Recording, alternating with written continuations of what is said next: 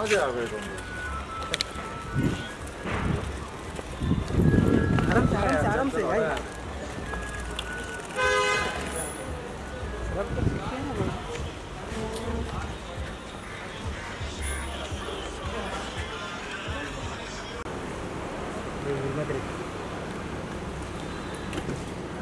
Hola, Hola, bueno.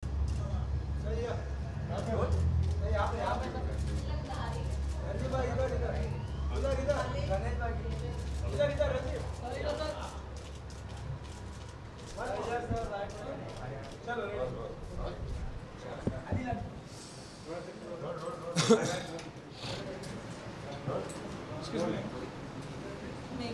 She's from media. बोलिए Sandeep, how excited are you for the today's match? I'm very excited. Last time we lost our first match by one point, and then we could never recover from that one point uh, thing. And uh, so, uh, but we have met all the fighters. They're very excited. They're very prepared, and uh, you know, to put up a good show.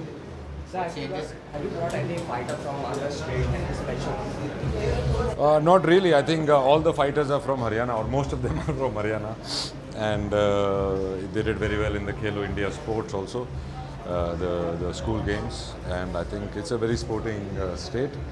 But no, but there is no. I mean, team is a team. Whichever team, whichever fighter. Like we've got foreign fighters as well, so they're all Haryana Sultans now. So any any changes you have done in I think last season also the best strategy is to go there and enjoy yourself. You know, have a good game.